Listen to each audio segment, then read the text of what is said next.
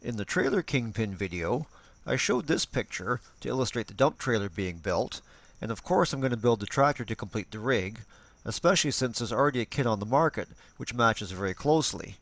This is of course the reissued version of the original Ertl Transtar 4300. I built this kit years ago, as I'm sure many of us have, and it's still a good kit by today's standards, although it does have one interesting quirk with regard to the instrument panel. Instead of the normal round gauges you'd expect to see in the center of the instrument panel, it's got these two large bumps here which represent tachographs. A tachograph is basically a time card punch clock for truck applications, and in fact this picture shows a tachograph installation in a Transtar 4300.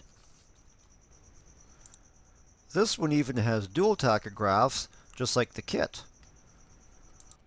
One is installed to the left side of the steering column, and the other one is on the right. So far the kit's looking pretty accurate. So what's the issue? Mainly that this dual tachograph installation seems to be quite unusual. I've only come across one photo showing this in all my searching. Every other picture I've seen of a Transtar 4300 dash, whether sourced online or in this case, a truck I was able to photograph myself, shows two round gauges on the instrument panel.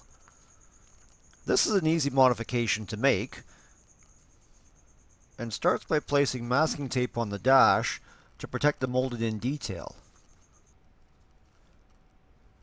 Drill holes around the instrument cluster I like to use a 132nd drill and a pin vise for this, and keep the holes close enough so you can easily connect the dots with a hobby knife after to remove the part.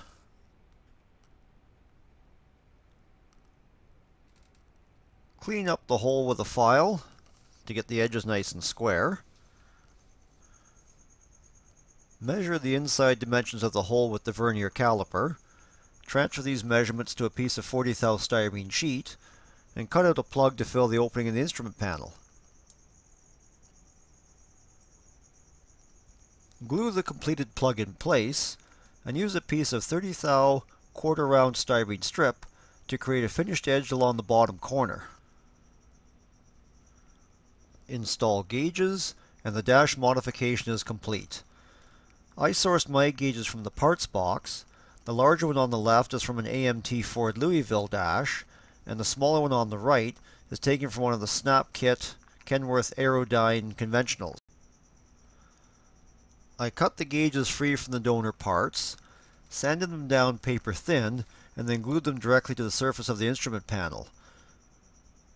This is similar to how diesel locomotive projects were done many years ago, when donor models would give up parts like louvers and grills, which would be sanded down paper thin, and glued on the surface of the model being modified.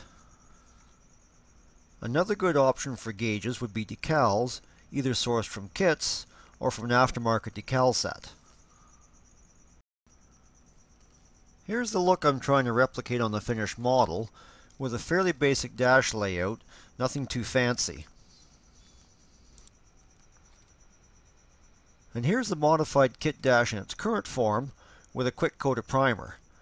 The kit is based on a higher trim level truck with a full gauge package, so I'll be removing a number of these gauges to bring the model back down to a basic fleet spec.